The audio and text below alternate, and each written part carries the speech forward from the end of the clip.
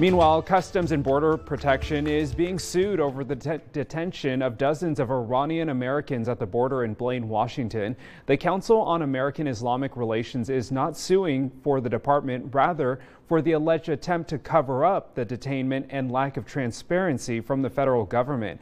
It's accusing CBP for refusing to reveal a memo telling Border Protection agents to stop travelers of Iranian descent. Earlier this week, Border Patrol's acting commissioner admitted they should not have detained the U.S. citizens and claimed that patrol agents in Blaine got carried away.